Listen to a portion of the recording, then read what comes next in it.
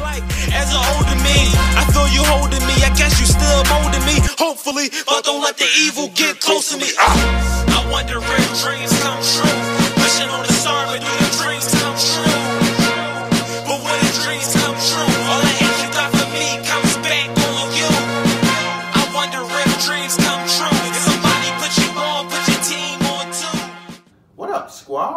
Mizzy World back with an interview. You feel what I'm saying? Finally, with my guy AR Ase. You feel what I'm saying? What's up, bro? Glad to be here, man. Glad you on. You feel what I'm saying? My man is a rapper from Uptown. This is the closest rapper that I did an interview for. You from where again, bro? From jungle and shit, like Yeah. Lucas and shit. Yeah, yeah. You from right up the hood. You dig what I'm saying? So, proud. I'm honored to have you on. You dig what I'm saying? So let's start this off with like to get to know you. You feel what I'm saying? So I want to start it off with the name AR Ase. Where you get the name AR Ase from, bro? Uh, the name is really motherfucking combination of like my real name and shit, my initials, and a name I just picked up in like middle school and shit. Like, Mhm.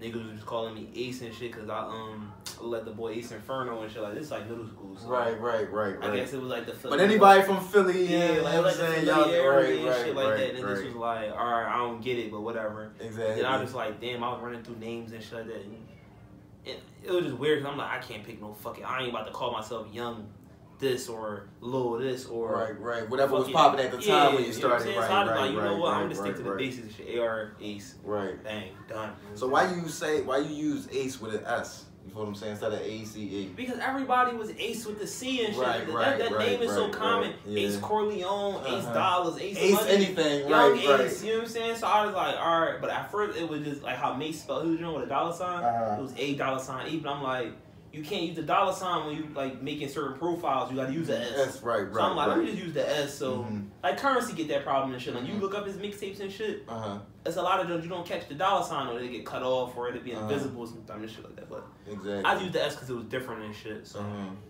But it was original. Like originally, you wanted to do it for Mase and have it as a dollar sign. Yeah, yeah, 'cause that's how that's dope. That's dope. Mason That's dope. That's But I don't know, you know, when you when a nigga asks you that in other interviews, you always spin it like, no, the A mean this, the S mean that, the E right? this, you know no, saying? but what you even like the way you broke it down was even dope. You feel what I'm saying? How like you was at that point where you needed a name, and at that time it was a lot of people doing the little this or the young that. You feel what I'm saying? But you stuck to the basics of your initials with the Ace. You feel what I'm saying? And you had a reason why you used the S instead of the C.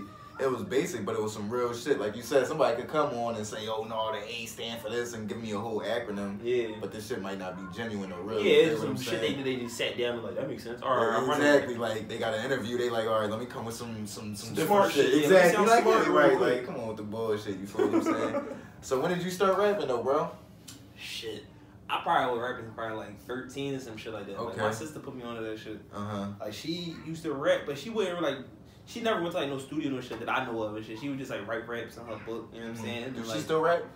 Probably, but not like as much as you know. Like I would probably see it often. You know, it's it's weird because like she, I would catch her like doing like rapping and shit like that, Mm-hmm. and I would just be air hustling like on you know young boy, young boy and shit, me and nosy and shit. I'm like, what she doing? She Right. talking and shit. Right, Like, right, right. What's happening? Right, right, right. So I was like, damn, I want, I want to, you know what I'm saying, see if I could fuck with that shit, how she fuck with it. Mm-hmm. And just one day, I just was in my head. I wrote a couple things down. She was downstairs with her friend or whatever, and they was rapping.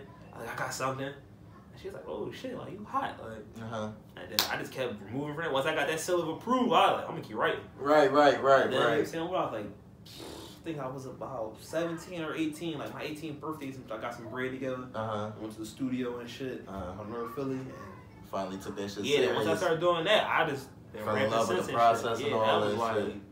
That was probably like 09 maybe. Right, right. The first time I went to the studio, but Uh huh.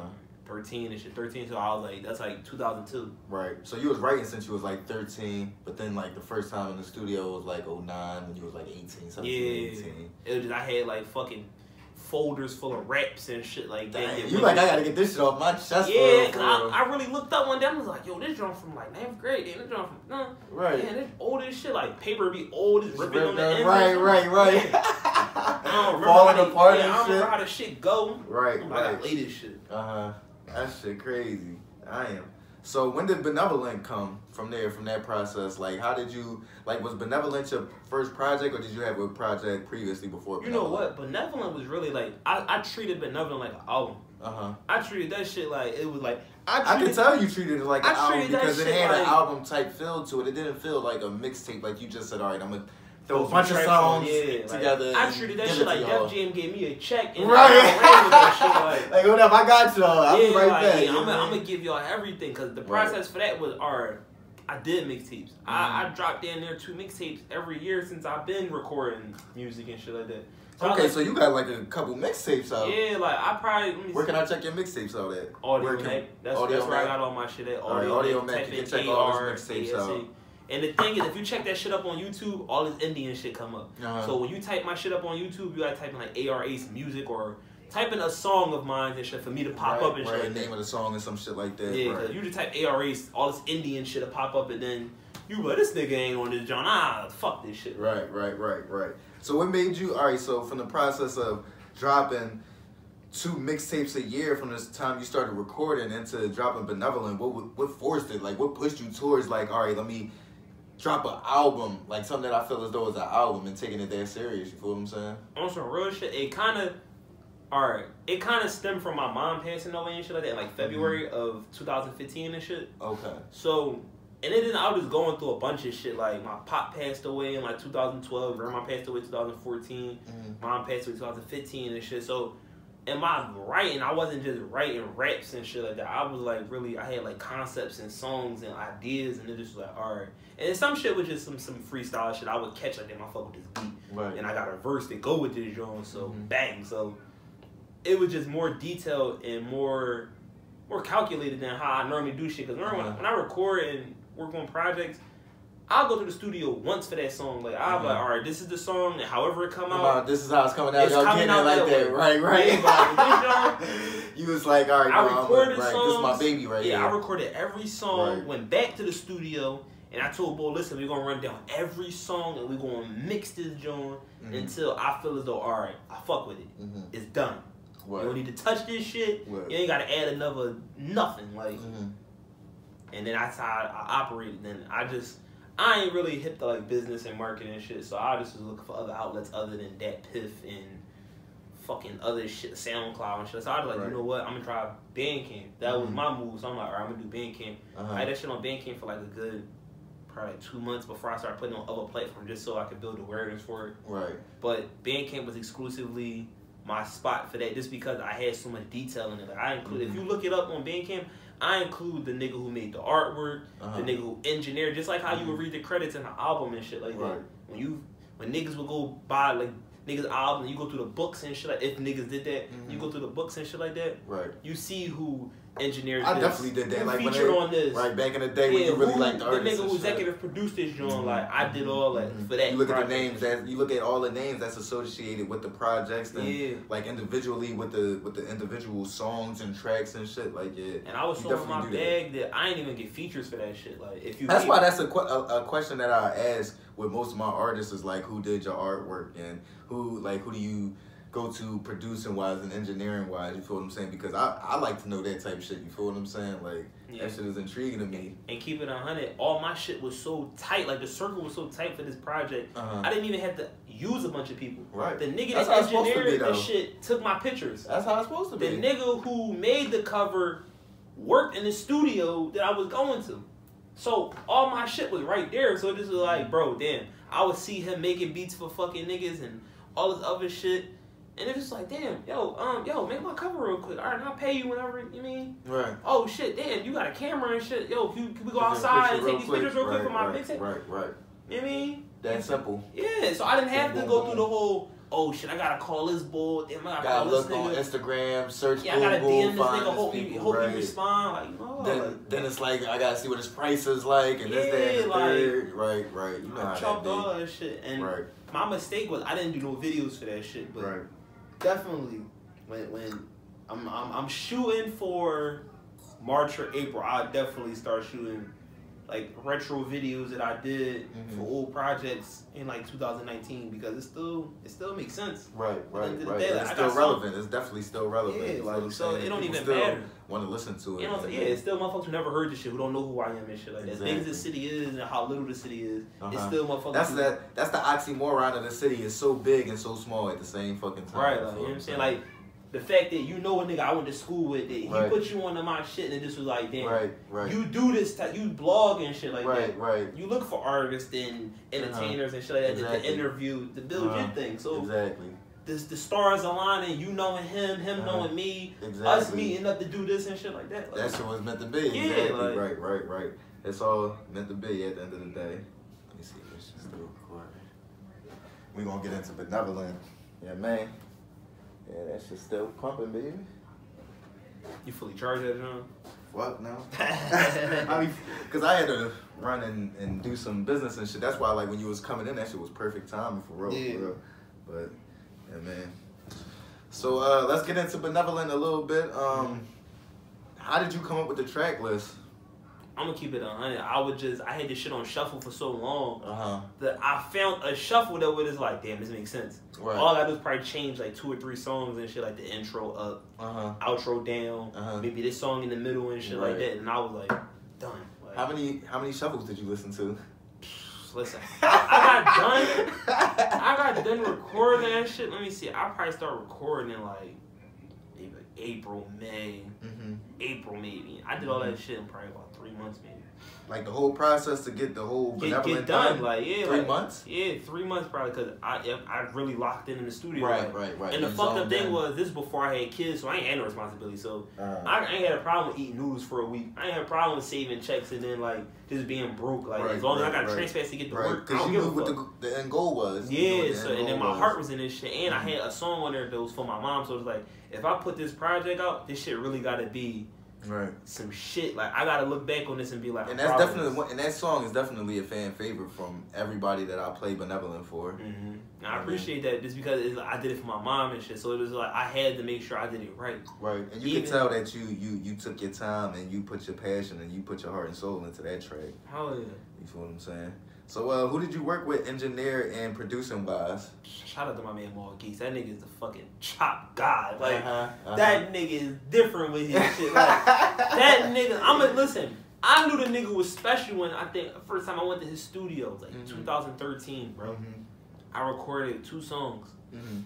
He one of them niggas that when you record a song, you could have it in your head like, all right, I'm gonna say the lines this way, and this how the song gonna sound and shit. Mhm. You get out that fucking booth and you sit down or whatever and shit. You go through your phone. You know how you get niggas who rap. You go through your phone and shit. You hear your verse and shit. Right. Then you on Instagram talking about yeah, I, just, I cooking up, got some new shit. Right. You'll get back into the session. The nigga be like, how this sound? And he done added some fucking beat drops, shit that you only hear from like established artists. You be like, oh, Right.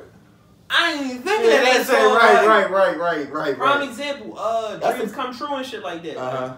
The whole um, uh, it's, it's the it's the first verse like uh, something about the devil and shit like that. Hope Uh-huh. you don't catch me. I'm gonna book it on him and shit. Uh-huh. That joint, the whole demonic voice and shit. like Oh, I'm I know exactly what you when Yes. when your voice got deeper right there. at yeah, that I didn't tell him to do that. that shit. Like he just And that's that the great shit, thing like, of working with like other dope artists when they put other shit in that you don't expect, but it's perfect. Yeah, you know what I'm saying? There's some shit that you like, bro. I did not think of this shit, but that shit is perfect. Like that's God, like, that's exactly what we needed. Yeah. So when he did that shit, I just was in my head like, oh, this nigga different. Like, right, right, right. I ain't gotta right. tell him nothing. I Right. could, he got his own ear for this shit. I can Uh-huh. just do my verse, make sure the shit sound perfect.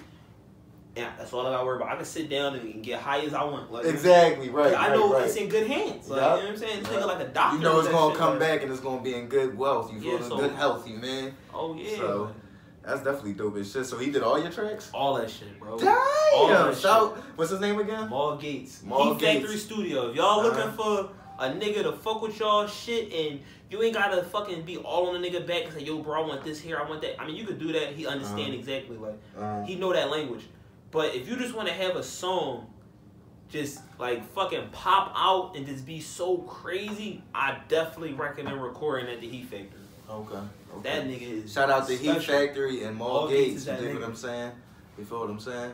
But um, what was your Okay, so this kind I already kind of know the answer to this question, but what was it like making this track, and what did it mean making this track for As I Reminisce?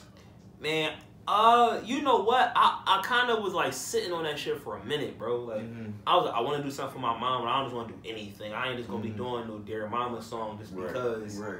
Just that's because. like the trend, and Yeah, that's what you like- gotta do as an artist, right? Yeah, like, cause then I'm look back and I'm just be like, I could have You didn't, and you didn't pay homage. Yeah, the right, like, right, right, right. So when I did it, I, I gotta make sure I put certain shit in, like how my mom used to like say things that she used to say to me and shit like that. How she used to act, like I gotta put these things. So when other people hear this, they be like, "Yo, that's your mom. Like your mom was like that." right, So when I was writing that shit, it probably took me a few months to finish that shit in the sense of like before I started recording. mm-hmm. So when I was penning that shit, I probably was stuck for probably like a week or so, and I just was just catching vibes like Mm-hmm. damn, all right, this go with that. This some shit she would say. This that.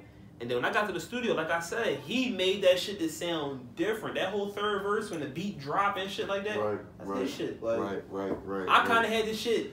The verse like you end, said, he he got that Yeah. connection and that vibe. you verse feel what I'm ends and the hook come back. Like he was Mhm. like, yo, I think it'll sound better if you do this. Man, say how this sound? He played that shit. I'm like, ew, that shit sound way better than what I had Yeah, going on. right, do that right, shit, right, bro. Right, like, right, right. Rock with it. Let's Yeah, rock with that, it. let's Run do with that. it. Yeah, man.